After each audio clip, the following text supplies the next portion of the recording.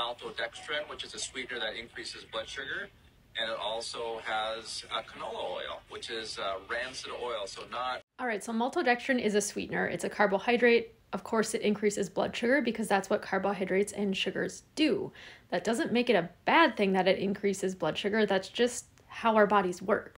Of course, if you have diabetes, you have to monitor your blood sugar, but just because sugars and carbohydrates increase blood sugar doesn't mean that they're bad for you.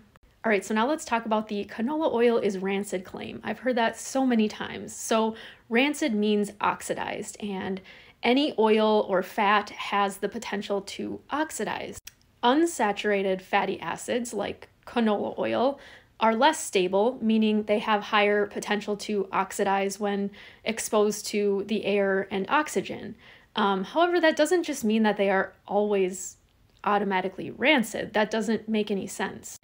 That would be like saying that strawberries are worse than apples because strawberries spoil faster than apples, therefore, they're always spoiled.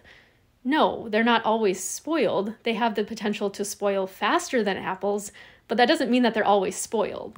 Let's take a look at his explanation for what he means by rancid. To extract these oils, they go through a hydrogenation type of process, and the oil becomes unstable, especially in all right, I'm going to stop him right there because he's extremely confused. So, extraction is a completely separate process from hydrogenation.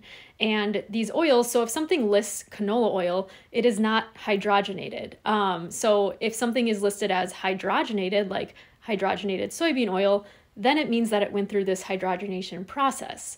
Now, this hydrogenation process is not the same as oxidation, which is what rancidity is referring to.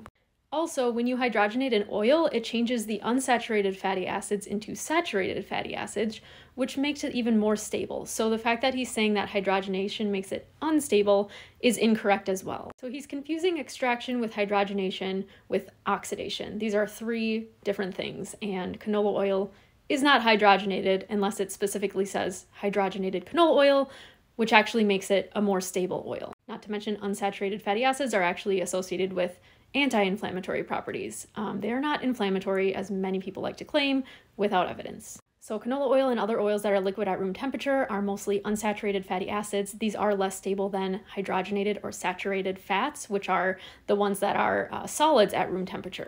This just means they have the potential to oxidize faster, so they will have a shorter shelf life, and if exposed to air, they can become rancid. That doesn't mean that they are always automatically rancid. Trust me, you would know if there's a rancid oil because they smell really bad. And this whole thing makes entirely no sense. He has no clue what he's talking about.